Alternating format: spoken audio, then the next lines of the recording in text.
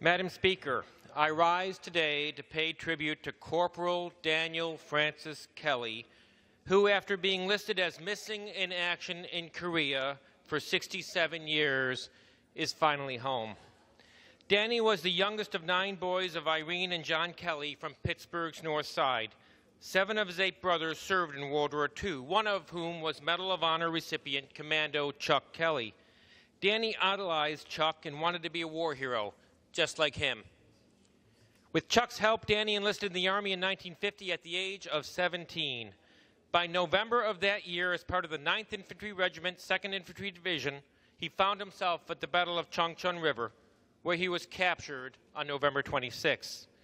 It is believed he died at the POW camp known as Death Valley in March 1951. Corporal Kelly, this week, your country gives you the funeral military honors you have long deserved. Like your brother Chuck, you are a hero. A grateful nation says thank you. Eternal rest grant unto him, O Lord, and let perpetual light shine upon him. I yield back.